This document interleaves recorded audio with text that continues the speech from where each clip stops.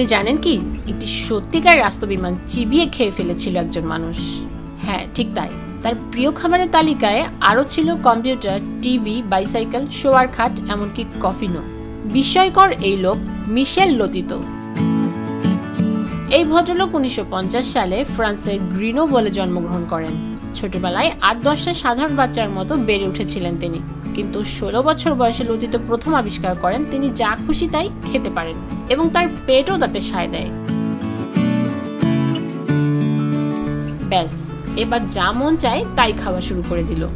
খাদ্য অখাদ্য সব খেতে পারলেও লতিতোর সব থেকে পছন্দের খাবার ছিল ধাতু কাজ এবং রাবার জাতীয় বস্তু।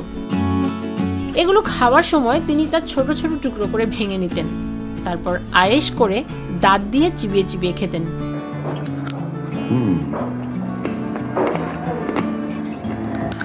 আর এসব খাবার সময় তিনি একটু করে মিনারেল ওয়াটার খেতেন যেন খাবারটা তার গলা দিয়ে সুরসুর করে নেমে যেত পেটের মধ্যে।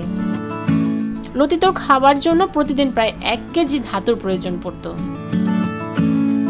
তখনকার বাঘা বাঘা ডাক্তাররা তার পাকস্থলী নিয়ে গবেষণা করে বুঝতে পারেন লতিতর পাকস্থলীর গায়ে একটি শক্ত ও পুরু আবরণ রয়েছে। যে কারণে তিনি এসব ধারালো বস্তু নিমিষেই পেটে চালান করে দিতে পারতেন। এই আবরণটি খেয়ে ফেলা ধারালো বস্তুর আঘাত থেকে তার পাকস্থলীকে সুরক্ষা করত। এছাড়া তার পাকস্থলীতে ছিল অত্যাধিক পরিমাণে হজম রস, যে তিনি সবকিছুই হজম করে ফেলতে পারতেন। ডাক্তাররা জানান যে, এটি আসলে পিকা নামের একটি ব্যাধি, যার কারণে মানুষের খাদ্য তালিকায় অখাদ্য ঠাঁই পায়।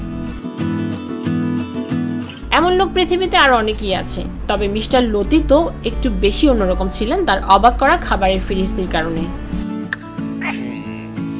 How is উনিশশো সাল থেকে উনিশশো সাল পর্যন্ত তিনি মোট নয় টন ধাতু খেয়েছিলেন।